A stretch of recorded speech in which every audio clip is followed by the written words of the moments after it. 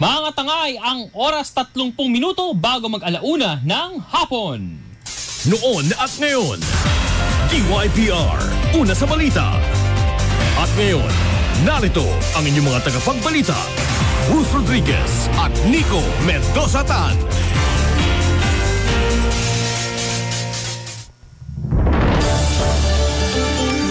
Magandang tanghali, lungsod ng Puerto Princesa, lalawigan ng Palawan, araw ng Huwebes, August 11, 2022 at narito na ang mga pangunahing balita na dapat yung abangan ngayong tanghali.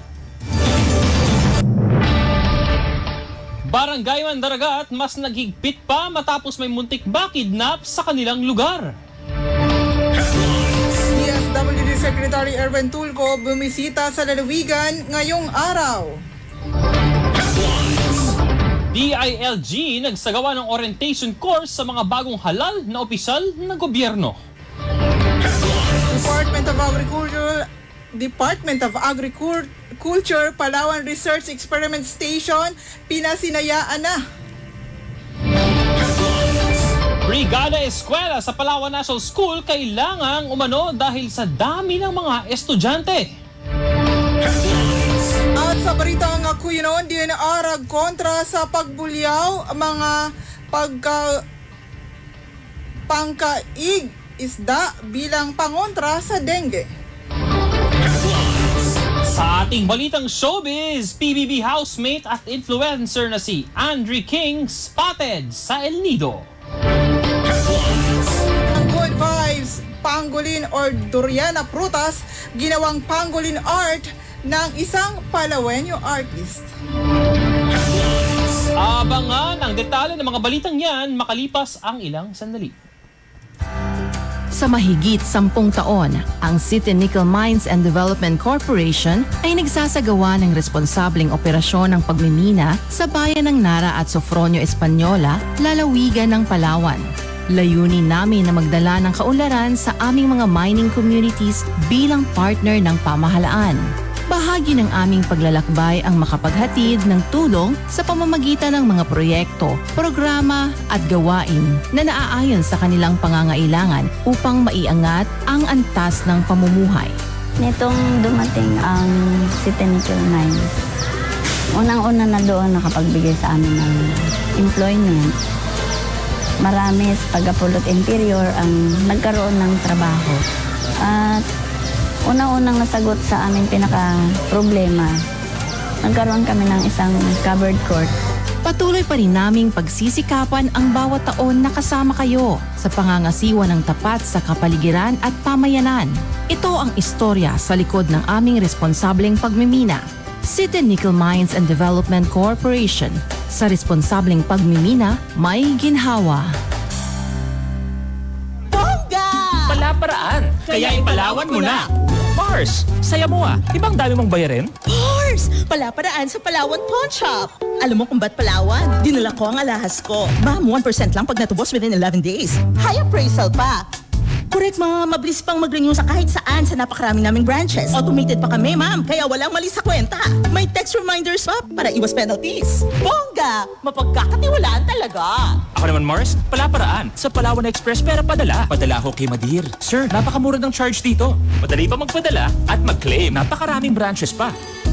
Kaya gusto ko dito sa Palawan. Walang kuskus malungos. Maya-maya, hello? Anak, salamat. Eto, hawak ko na ang cash. Ang bilis. Bongga! Palaparaan. Kaya ipalawan mo na.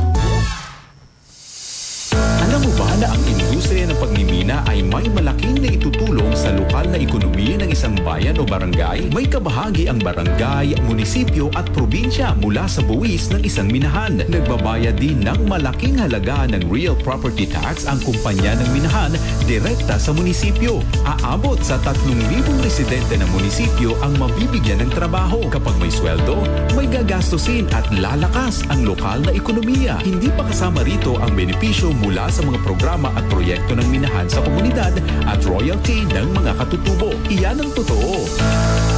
Ang impormasyong ito ay hatid sa inyo ng Ipila Nickel Corporation, kaagapay nyo sa pag-asenso.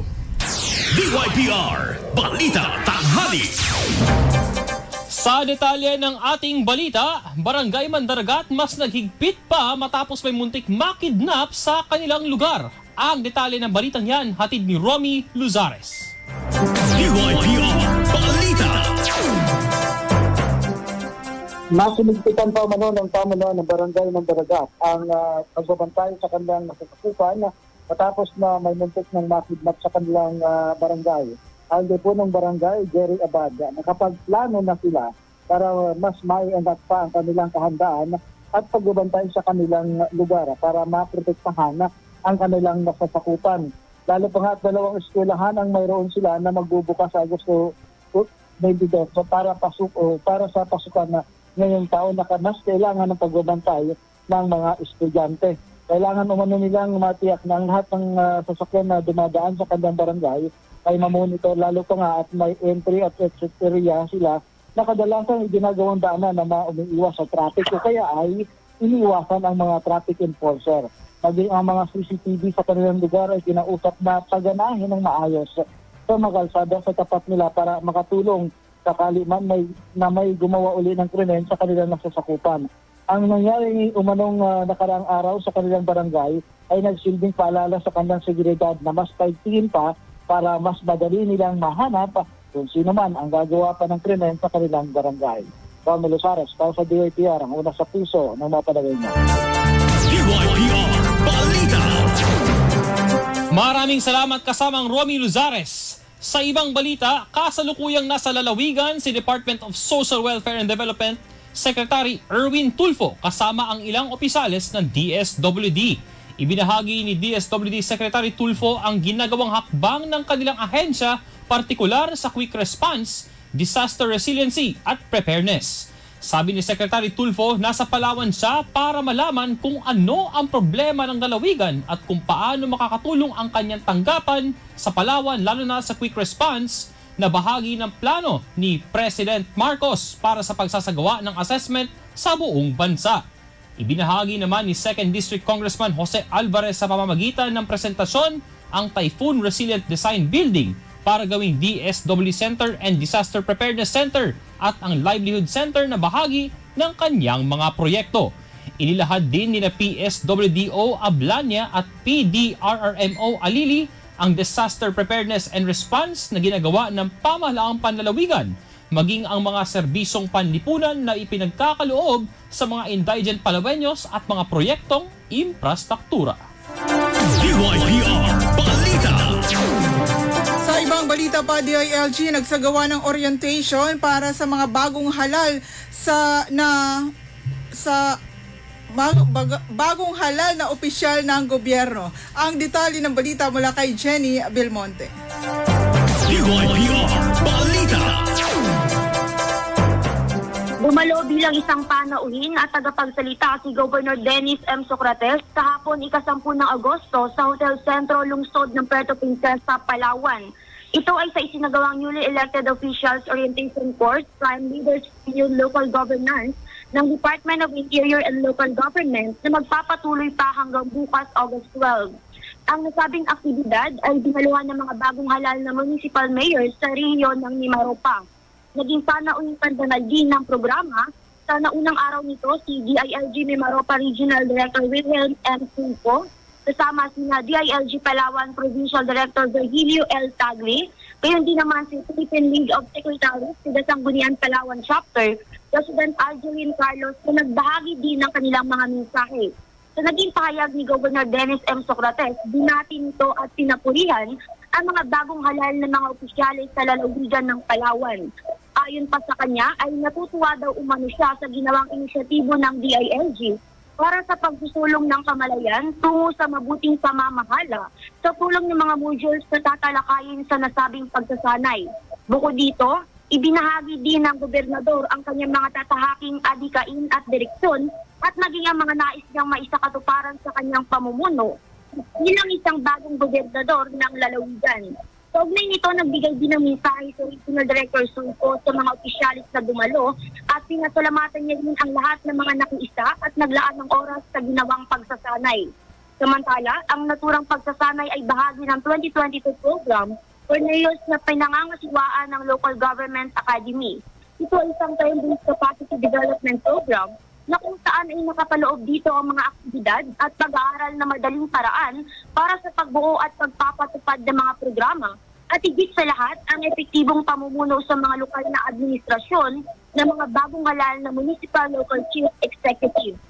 Jane Rose Del Monte para sa DYPR, ang una sa puso ng mga Palawenyo. DYPR.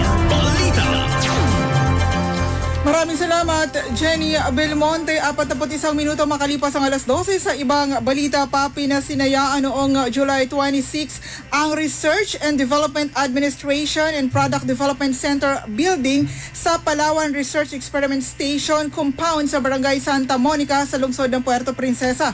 Ang bagong dalawang palapag na DA Palawan Research Experiment Station building ay may kabuong sukat na 780 square meter na sinimulang gawin noong uh, 2017 matapos maaprubahan ang proposal ng Research Division na magkaroon ng modernisasyon ng pasilidad ang DA o Department of Agriculture upang mas maging moderno ang pagbibigay ng serbisyo sa mga kliyente lalo na ang mga magsasaka. Ayon kay Department of Agriculture, Palawan Research Experiment Station Agricultural Center Chief Librada Fuertes, nagmula ang podo sa DA Bureau of Agricultural Research para sa unang phase na nagkakahalaga ng 15 milyong piso at sa Department of Budget and Management naman para sa second phase na nagkakahalaga ng 18 milyong piso.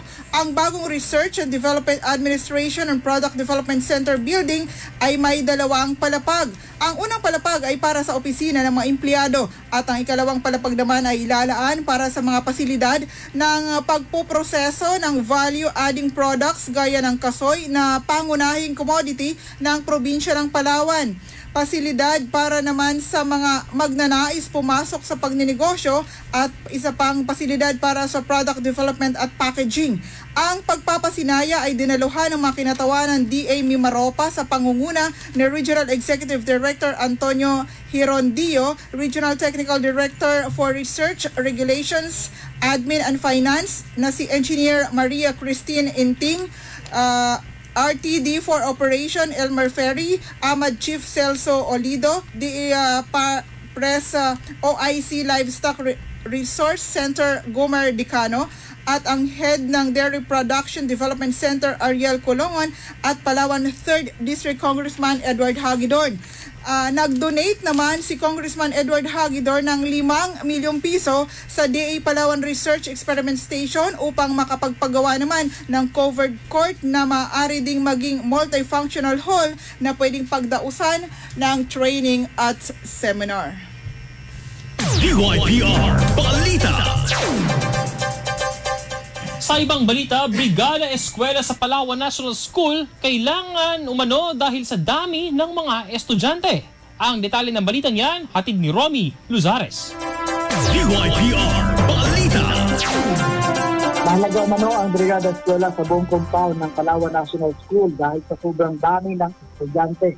Ayon kay Principal Eduardo Santos, kailangan daw kasi na maisaayos ang ilang mga silid-aralan dahil sa sira na ang mga ito at nadali pa ng nakaraang bagyo. Bukod pa na hindi nagawa dahil sa kapagsagan ng pandemic nakaraang school year. Sabi pa ni Principal Santos ang paglilinis ng silid-aralan at palibot nito ay makakatulong para sa maayos na hangin at kapaligiran sa panahon ng COVID-19. Lalo pa nga at malaki na ang kaibahan ng magiging face-to-face class ngayon kumpara sa noong wala pang COVID-19 o pandemic. Malinis at maliwalas ng schoolroom at paligid na nakakatulong para maging ligtas sa virus ang mga estudyante. Anim na taon naman ni Principal Santos sa PNS, dito makikita ang kooperasyon ng mga magulang para suportahan ang kanilang mga anak para sa ligtas na paaralan kasama na ang mga stakeholders ng PNS. Kahit anong bagay o piyansa na maaaring maitulong ay mahalaga para sa panahon o sa paaralan bago ang pasukan sa Agosto 22. Sana daw ay makatulong ang lahat para sa Brigada Eskwela na ito bagamat hindi ito magtatapos sa isang araw lang na programa at magpapatuloy bago magpasukan o kaya ay hanggang uh, kahit magkaklase na ang uh, mga estudyante para sa kapakanan ng mga estudyante at lahat ng mga mag-aaral ay patuloy umano ang pagtataayos at pagpapanatili ng uh, kaayusan na, ng uh, paaralan. Juan Rosares para sa DOTR ang una sa puso ng mga palawin niya. Maraming salamat kasamang Romy Luzares. Sa ibang balita, 677 mga batang kasalukuyang nag-aaral sa 99 Child Development Center sa lungsod ng Puerto Princesa ang nabigyan ng sariwang gatas ng City Social Welfare and Development. Ang milk feeding program ay isa lamang sa mga programang inilunsad ng Department ng Social Welfare and Development sa pakikipagtulungan sa city government. Ang programang ito ay naglalayong matugunan ang problema sa malnutrisyon sa pamamagitan ng pagbibigay ng sariwang gatas sa mga bata sa loob ng 120 days. Nitong ika-9 ng Agosto, kasalukuyang taon, sabay-sabay na isinagawa ng CSWDO ang ika-74th na araw na pamamahagi ng mga sariwang gatas sa Barangay Santa Monica, Barangay San Jose at Barangay Bakungan sa lungsod ng Puerto Princesa. DYPR. Ang ibang detalye ng balita, abangan sa aming pagbabalik.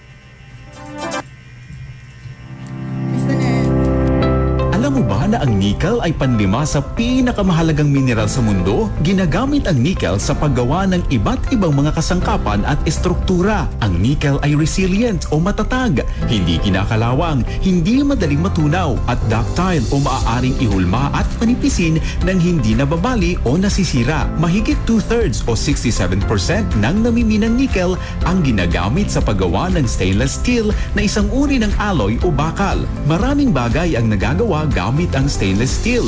Mula sa simpleng kubyertos hanggang sa pagbuo ng mga komplikadong spacecraft.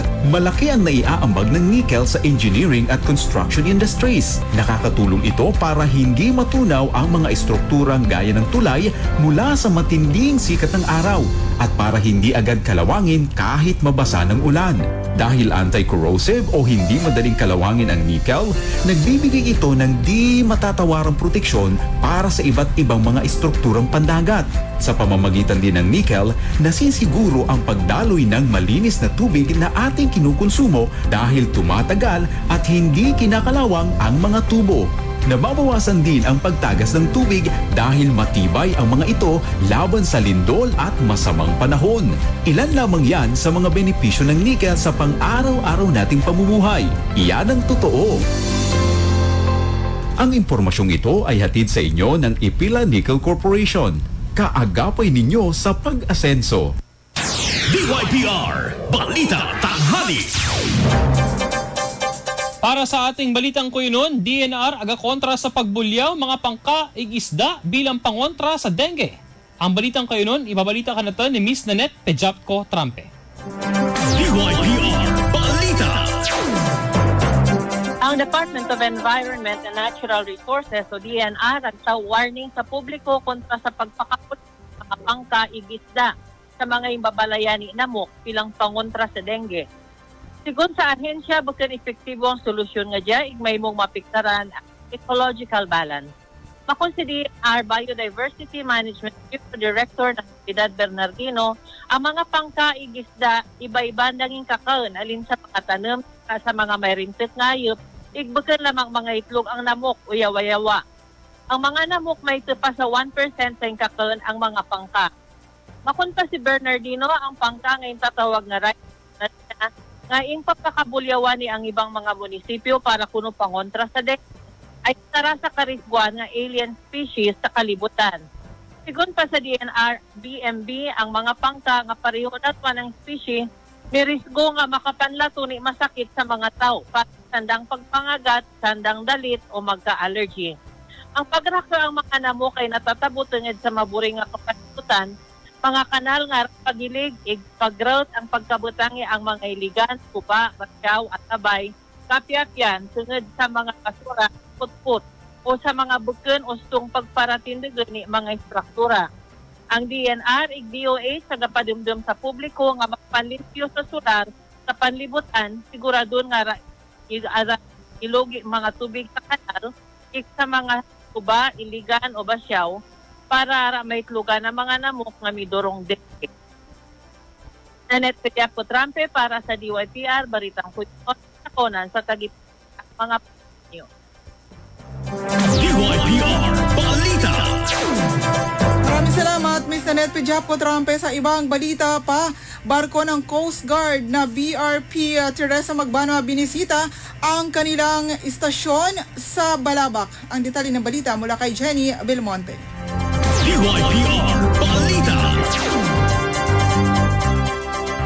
Bumisita sa Coast Guard Station Balabak ang BRB Teresa Magbanwa nito ikang Nito lang ikasyam ng Agosto taong kasalukuyan. Bahagi nito ang isang 97 meters multi-role response vessel ay idinisenyo upang pahusayin ang surveillance at vigilance capacity ng PCG. Ito, ito din umano ay nagbigay ng tulong sa pagsasagawa ng HF, VHF radio installation upang nang sa ganun ay higit na mapalakas ang komunikasyon sa bahaging timog ng Palawan. Samantala, tinulungan naman ni Station Commander si Commander Naval Forces West Captain Alan Javier PN sa pagbisita sa ng BRB Teresa Magbanwa Naval Station Balabac, Palawan. General Sandel Monte para sa DYPR, ang una sa puso ng mga Palawenyo. DYPR Balita. At para sa ating police report, wanted huli sa bayan ng Brooks Point, Palawan. Ang detalye ng balita hatid ni Romy Luzares. Police Report. Si Ronel Pablo Ferrer alias Padi, 34 anyos, nagsasaka ng sitio New Panay, Barangay Maasin, Duxton, Palawan at naresto sa Barangay Tudto, Brooks Point. Naharap ang suspect sa kasong act of lasciviousness under Revised Penal Code Article 336 at pinaglalagak ito ng piyansa na 36,000 pesos para sa pansamantalantong kalayaan. Inaresto ang suspect ng Dukes Point Police at Provincial Intelligence Unit at Palawan Provincial Police Office at iba pang uh, joint police operative sa bisa ng warrant of arrest na ginaba ni Judge Ramon Chito Mendoza, Regional Trial Court sa Branch 165, Single Sala, Brooks Point, Palawan. Juan Melisares para sa DOTR mula sa puso ng mga Palawan niya. Police Report. Maraming salamat kasamang Romy Luzares, ang balitang showbiz at balitang good vibes sa aming pagbabalik. Fitness Camp is now in Puerto Princesa. They offer weight loss program, weights training, functional training, boxing, mixed martial arts, Muay Thai, Brazilian Jiu-Jitsu, Zumba, and supplement shop. Fitness Camp is located at Junction 1 Sutter between Honda Prestige and National Bookstore. For inquiries, call or text 0908-211-4362. Fitness Camp is open Monday to Sunday from 7 a.m. to 9 p.m. Fitness Camp. Set the trend. Join the squad. See you at the camp. Sa mahigit sampung taon, ang City Nickel Mines and Development Corporation ay nagsasagawa ng responsabling operasyon ng pagmimina sa bayan ng Nara at Sofronio Española, lalawigan ng Palawan. Layunin namin na magdala ng kaunlaran sa aming mga mining communities bilang partner ng pamahalaan. Bahagi ng aming paglalakbay ang makapaghatid ng tulong sa pamamagitan ng mga proyekto, programa at gawain na naaayon sa kanilang pangangailangan upang maiangat ang antas ng pamumuhay. Sa kabila na hirap sila tatay, nanay dahil sa eskola kung ba't kami nakatapos. Kaya malaki na itulong ng scholar sa amin kung ba't nandito kami na nagtatrabaho at nakakatulong na din sa kanila. Ang City Nickel po, nagbigay ng mga health station. Patuloy pa rin naming pagsisikapan ng bawat taon na kasama kayo sa pangangasiwa ng tapat sa kapaligiran at pamayanan. Ito ang istorya sa likod ng aming responsableng pagmimina. City Nickel Mines and Development Corporation sa responsableng pagmimina may ginhawa. Kailangan magpadala ng pera pero nag-aalinlangan kung safe o kung matatanggap ba agad? Huwag magalala. Hashtag palaparaan yan sa Palawan Express Pera Padala. Alam nyo kung bakit Palawan? Cash agad ang matatanggap ng pinadalhan ko. Walang kuskus balungos. Mababa pa ang service fee at napakarami pang branches nationwide kaya madaling magpadala at mag-claim. Kaya kung pera padala ang usapan, para sa mga maparaan, ipalawan mo na. For more info, visit the Palawan Pawn Shop official Facebook page. Supervised by the Bangko Sentral ng Pilipinas.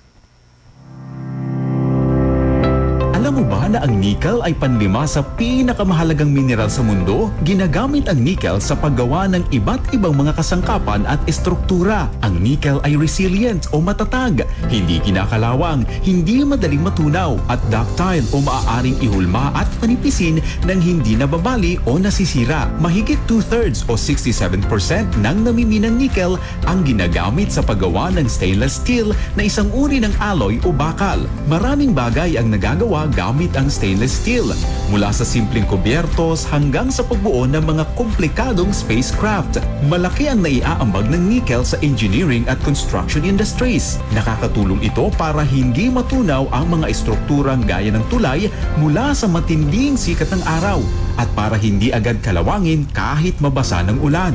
Dahil anti-corrosive o hindi madaling kalawangin ang nickel, nagbibigay ito ng di matatawarang proteksyon para sa iba't ibang mga estrukturang pandagat. Sa pamamagitan din ng nickel, nasisiguro ang pagdaloy ng malinis na tubig na ating kinukonsumo dahil tumatagal at hindi kinakalawang ang mga tubo. Nababawasan din ang pagtagas ng tubig dahil matibay ang mga ito laban sa lindol at masamang panahon. Ilan lamang yan sa mga benepisyo ng nickel sa pang-araw-araw nating pamumuhay. Iyan ang totoo. Ang impormasyong ito ay hatid sa inyo ng Ipila Nickel Corporation. Kaagapay ninyo sa pag-asenso. DYPR Balita Tanghali Showbiz Balita ating showbiz balita, PBB housemate at influencer ni si Andre King spotted sa bayan ng El Nido. Ang showbiz balita hatid ng showbiz insider Joel Contrevida. Spotted habang nagbabakasyon ang PBB o Pinoy Big Brother adult housemate na si Andre King sa beautiful El Nido.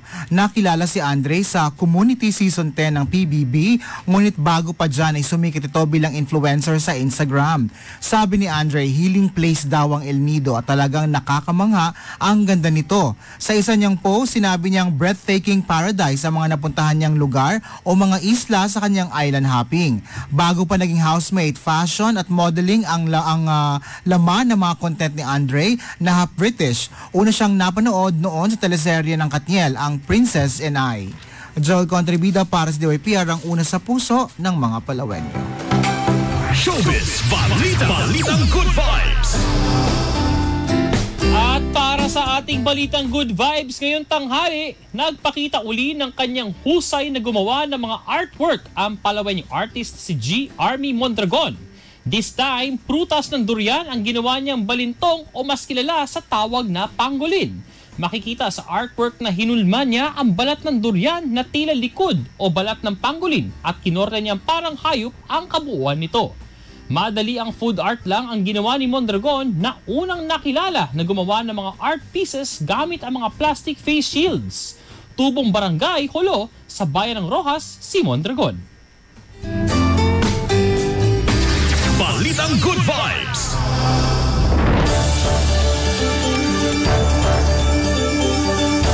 At magandang tanghali kay uh, Ida Viray, kay Ma'am Tess Basaya at kay Kaluwi Luiva, John Valderrama. Magandang tanghali at kay George Vasquez dyan sa City Hall at sa mga nakikinig sa Barangay Napsan, San Vicente, Taytay at Rojas at sa mga taga-Dumaran. Yan ang pangkabulan mong balitang aming nakanap. Ngayong Huwebes ng tanghali. Maraming salamat sa inyong pagsubaybay hanggang bukas alas 6 hanggang alas 6.30. DYPR Balita, dito lang naman po sa 95.11 FM. Ako si Ruth Rodriguez. Magandang hapon. Magandang tanghali kay Elton Aiko dyan sa Aiko Bigasan sa Old and New Market. At magandang tanghali sa napakabait at napaka-attentive na staff ng Haim Chicken dyan sa Manalo Street. Maraming salamat sa inyong pakikinig dito sa DYPR Balita 95.1 1FM. Ako si Nico Mendoza Tan at yan ang DYPR Balita sa tanghali.